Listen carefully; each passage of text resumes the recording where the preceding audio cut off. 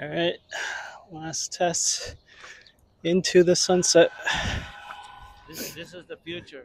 this is the future. Welcome back. This is the second episode where I show you how I build the hardware. The Guardian idea stems from participating in this Hackster IO challenge.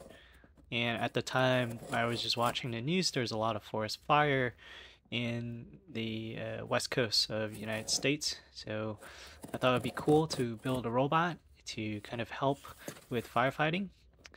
And if you haven't seen my pitch or idea, it's in my first episode of this playlist. Feel free to check it out. But here I'm just unboxing the stuff that I received. Um, I applied for the Boron 404X, which is a cellular IoT device that allows you to control your robots or other automation from cellular from the web platform. The hardware itself is really looking a lot like the ESP32, the Feather, and it also comes with some breadboard and USB, micro USB, and then an antenna for cellular uh, connections. And it also comes with a Hackster.io sticker. Now let's open up the boron and have a closer look. Yeah, so it's got uh, several GPIO pins. You have the TX, RX. It really has the same size as the Feather, ESP32 Feather, which I believe it is based on that. And everything, the pins are all pre-soldered, so you can just put it on your breadboard. You can also attach a uh, 3.5 volts battery right to the side so it can power low power. Now, I originally wanted to 3D print my robot chassis. That is a tanked version, tracked versions.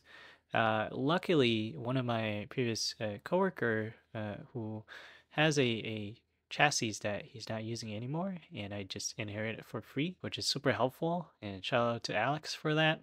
Once I got the robot, I quickly do a schematics of what sensors and motors, how I want to connect them. And so the first thing would be testing the motors since these robots, this robot has been in the shelf for about one year, two years without running at all. So I was kind of concerned whether uh, the motors were even working or the motor controllers. So I strip some wires and connect them to the positive, negative end of the motor. I'm using a very cheap wire stripper thing that comes from Amazon. I'm trying to connect the positive end and the negative end to the motor controller. Uh, this dual motor controller supports two motors, so there's there's two sides of two sets of each, and it can take I believe from 12 volts to 50 volts of power, which I'll hook up the battery later. The motor controller is called the Sabertooth dual motor controller and it has several settings with the on and off pin here you can see. The motor controller takes a digital signal from, I'm sorry, a, a TTL signal from Arduino. So that's why I was hooking up with the Arduino to quickly prototype. And you can send numbers of 0 to 127 to tell how fast the motor is spinning. And it also tells the direction of the motor where it should spin. So you can go forward, backwards, and a combinations of that. And here I am connecting my battery interface. I have a connector that I built previously for another project. And I will be testing with a 11.1 volts of LiPo battery, a 50C. Later on I will be upgrading to a 22.2 volts, which is the battery in series, to kind of amp that more power to give the, the robot go faster. The battery connector here, I believe it's a XT90 as a XT90 connector connected to the, the yellow interface, which is XT60, and then straight into the motor controller, positive, negative. And then as usual, I just, I'm just here to make sure I'm not shorting the battery. That's the number one thing you don't want to do. Checking the, the motor is correctly connected. Nothing is short.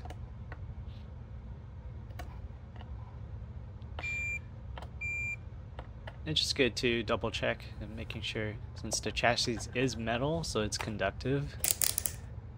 And we'll plug right in. And here I'm checking connectivity again. This time I am checking the voltage make sure it's supplying enough voltage to the right place.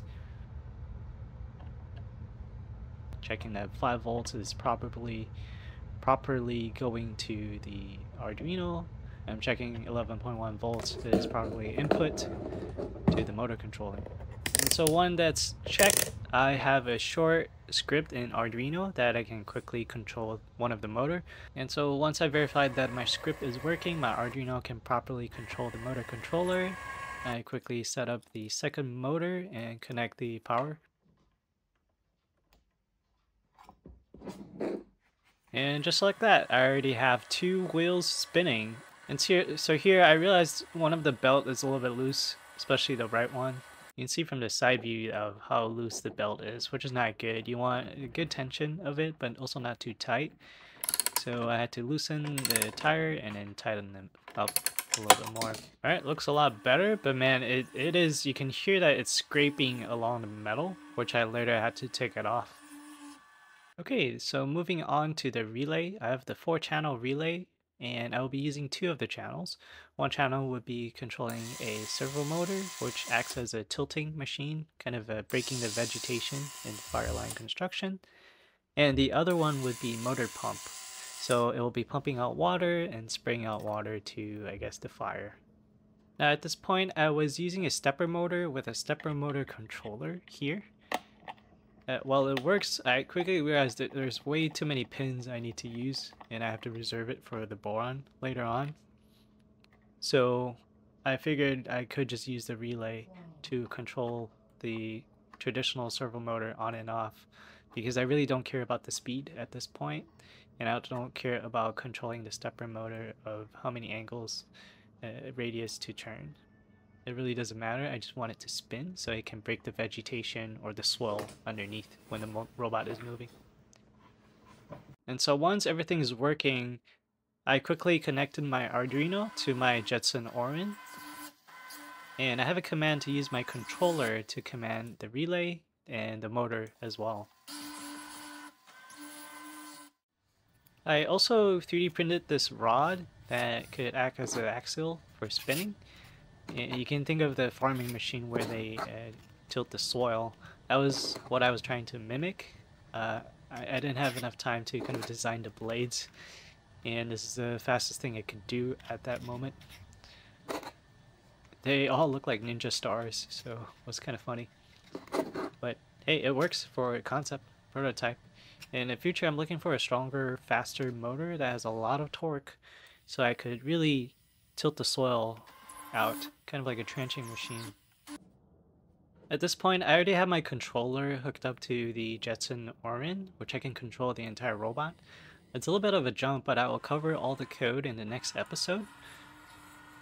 But you should know I was able to control with the joystick going left, turning left, turning right, forward, backward, and uh, with the uh, controlling of the servo as well for that uh, tilting machine in front. I had the camera in front because I wanted to detect the fire. The, the LiDAR on top was used for obstacle detection, so I can avoid it automatically. Yeah, tested indoor, everything looks fine. And the way I power other sensors is I was using a power board distributed by the F110 community. But really, you can just find a separate battery to power all of them together. And the Jetson Orin uses a 12 volt battery the LiDAR also uses 12 volt and the camera is just a micro uh, USB-C direct interface to the Jetson Orin. Okay, I just migrated my robot here. Yeah, so at this point I was testing it outdoor. I am not near any forest, so it was kind of hard for me to find a terrain that I could go around like that and a lot of things was breaking. Like I, I didn't solder my motors good enough, so it was was kind of loose, and some of the 3D printing parts fell apart. So it was a lot of debugging. But hey, for a first spin, I think it was pretty good. And thankfully, there's some mulch around the the grass around the tree, so I wanted to simulate, see if I can kind of push away some of the mulch here. But the blades was way too small for that. Uh, but at, at least it can go through the terrain pretty well.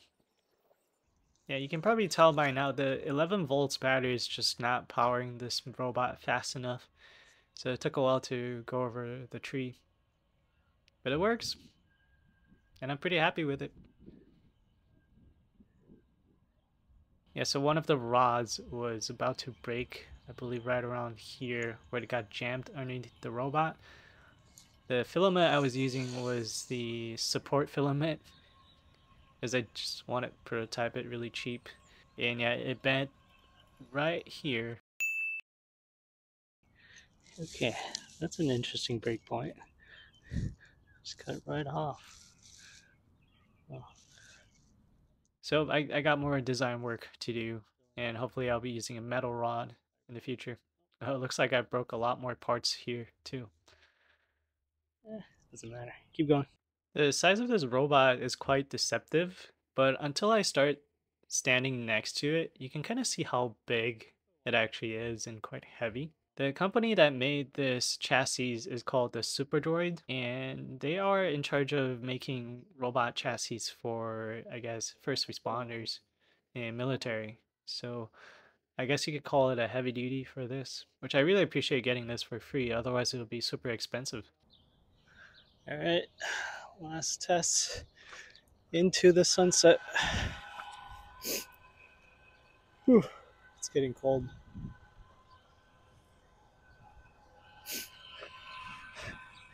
And so the thing in Chicago is that it's all flat.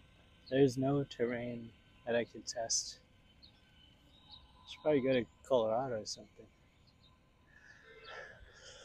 Let's see how far this goes.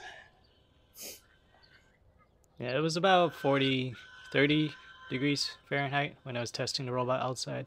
It was freezing. Here I was just testing the range of my joystick controller and how far I can control it. I think it's about roughly 10 feet, 20 feet really or well. so. I don't know, I couldn't estimate it. Still going.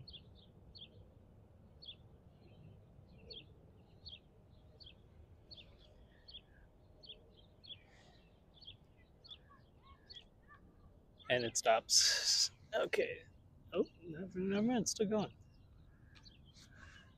So the range is uh, something like that. Pretty cool. Yeah, thanks.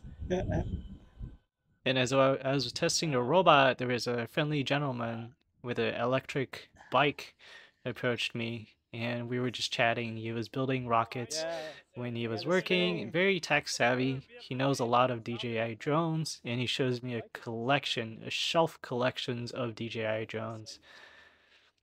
And so we were just having a chat. A super nice guy. So yeah, you want to say hi? This, this is the future. this is the future. All right, what a cool guy. Um, it's kind of sunset already. Uh, I think I'll call it today. Nobody's here anymore. And it's very cold. It's like 40 degrees.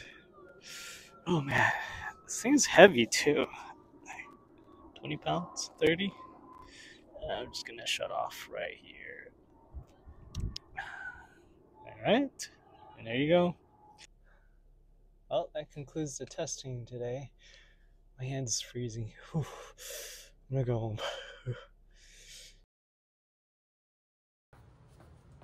After I go home, I warmed up myself and realized I have a lot more work to do because everything was broken as I was telling you.